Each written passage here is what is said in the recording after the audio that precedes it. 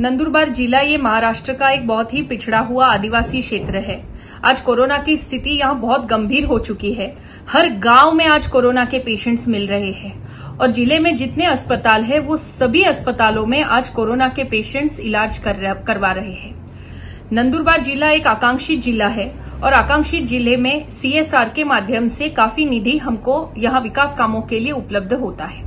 Corona के इस वैश्विक महामारी के समय में भी सीएसआर के माध्यम से नंदुरबार के जिला अस्पताल को चार हज़ार इंजेक्शन रेमडेसिविर मिले हैं। हमारे नंदुरबार ज़िले के जिलाधिकारी डॉक्टर राजेंद्र भारूड ने ये सीएसआर फंड से मिले हुए जो इंजेक्शन थे, इनमें से एक हज़ार इंजेक्शन यहाँ के एक स्थानिक शिवसेना लीडर के एनजीओ को, रोटरी वेलनेस सेंटर को बेचने के लिए ये एक हज़ार इंजेक्शन उन्होंने दिए हैं। ये जो इंजेक्शन आए थे सीएसआर फंड से, ये ज़िले के गरीब पेशेंट्स को मुफ़्त देने के लिए आए हुए थे। उनको मुफ़्त इलाज करवाने के लिए, मुफ़्त इंजेक्शन देने के लिए यह प्राप्त हुए थे।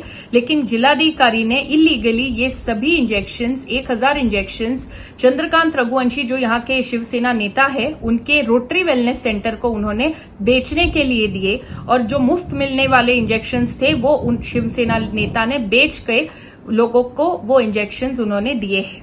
और ये जो इंजेक्शन है, ये इस तरह से देने के कारण यहाँ पे एक काला बाज़ार इंजेक्शन का यहाँ पे हुआ है। जो मुफ़्त मिलने थे इंजेक्शन वो मुफ़्त नहीं मिले।